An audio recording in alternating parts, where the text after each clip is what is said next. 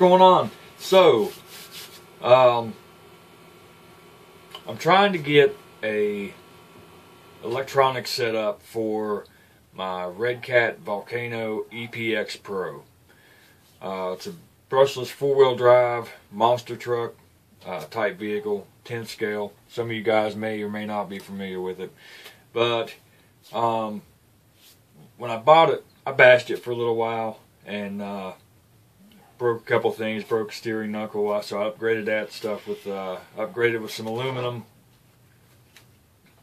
Uh, the purple you see here, it's aluminum.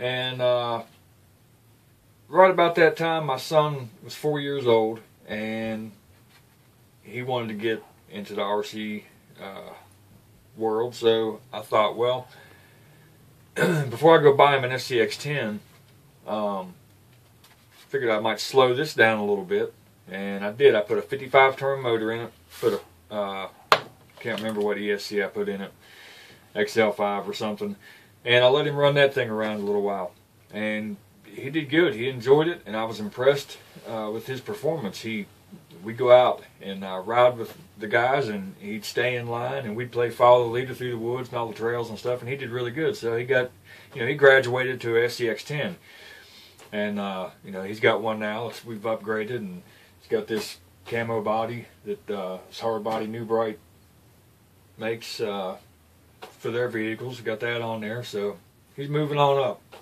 Well, now my daughter's interested in him. She just turned four.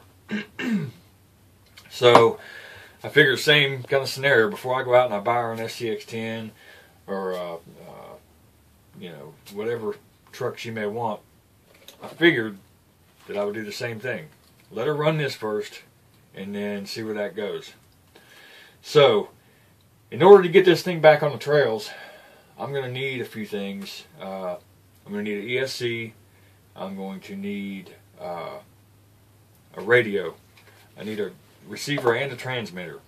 I don't have any complete. I have a couple. Uh, you see up here, one is a RC4 drive XR4, and that's kind of a spare. That's my main crawler. Uh, it's the type that I use for my truck. Um, so this one had got damaged, and so I kept it for kind of spare parts. And then I have a uh, ECX Torment remote and I'm not sure. I don't remember if there was something wrong with this, besides the fact that the the rubber kind of came loose from the wheel here, so it, you kind of got to squeeze it when you turn it. But basically, I'm wanting to find a cheap radio setup, um, 2.4, of course, maybe a cheap uh, HPI or Traxxas or something. Anything to get her going, and uh, I need to find an ESC um, brushed, preferably. Um, after all, it's going to be a crawler, so uh, it's going to be a trail rig. So that's kind of you know what we're going to do. Now, I got something I you know I'm willing to throw up on the auction block. Is uh, kind of a trade or a partial trade. I have an ECX Boost buggy. It's a roller um, right now, it has a motor on it. Looks like it's uh, it's like it's the stock. I think it's 15 turn uh, brush motor, but this thing's only been run. I think it's had maybe five packs through it. It's in uh, it's in really good shape. I mean, see the bottom of it. It's not it's not too bad. It's got a couple little scrapes across the belly pan, but it's in good shape. The body's in good shape. The tires are in good shape. The only uh, thing that's not stock on this thing right now, as far as I'm aware of, are these paddle tires. And those are in really good shape. They're almost like new. Um, I put some new bearings in the back. One of the bearings was missing when I got the vehicle. Uh, one of my best friends had the vehicle, and he was uh, just wanting to get rid of it, so we did a little bit of, of trading. Um, but yeah, I, I want to trade this off for as much of the stuff as I can get to get this going. So if any of you guys are interested, um, you can watch the videos on the Boost. This is the second one I've owned. Um, it's a great little buggy. They make a Metal Gear kit that goes in this, and he told me that the Metal Gears are already in this. So that's another thing that uh, I didn't mention a second ago as far as upgrades go.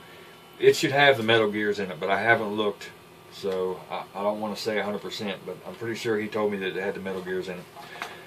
I put the Metal Gears in the other boost that I had, and uh, man, this thing jumps. It jumps so nice and smooth.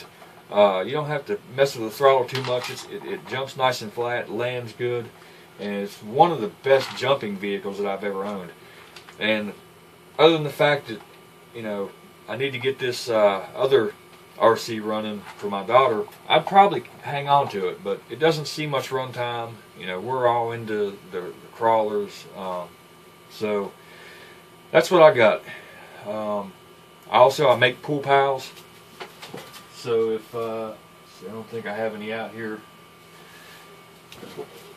I make pool pals, so you know somebody maybe you know I could throw in uh, throw in a little bit of tube work, you know, but that's what's up right now. Um, it's kind of what I'm looking at, trying to do a little project I got.